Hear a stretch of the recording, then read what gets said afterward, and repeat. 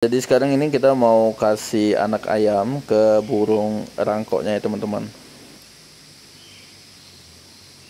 Nah ini supaya dia terbiasa aja sih, supaya dia terbiasa mendekat dengan kita. Jadi kita kasih makanan kesukaan dia. Jadi burung ini suka banget makan uh, anak ayam kayak gini atau anak tikus atau tikus putih ya teman-teman.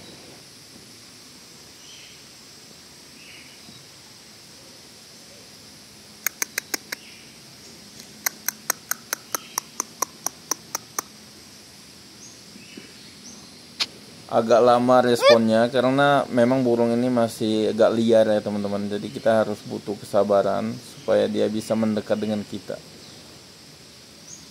Nah ini saya lemparkan aja ke tempat makanannya karena dia ini masih takut ya teman-teman. Jadi ini belum terbiasa juga dia untuk dikasih ke tangan atau dia kita dekati gitu ya.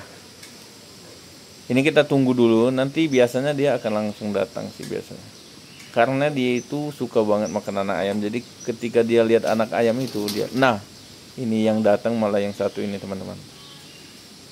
Jadi di sini ada dua ekor tuh langsung dia datang ya teman-teman. Kita lihat dia makan tuh lahap banget. Tuh langsung ditelannya teman-teman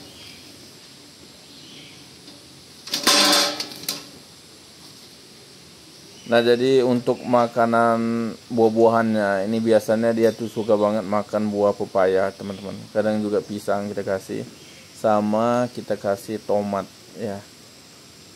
Jadi yang paling dia suka kalau buah-buahan itu pepaya teman-teman.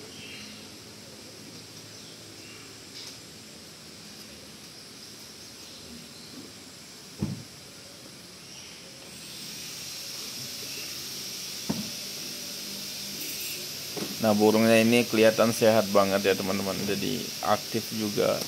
Tuh. Dia ada dua ekor pasang di sini teman-teman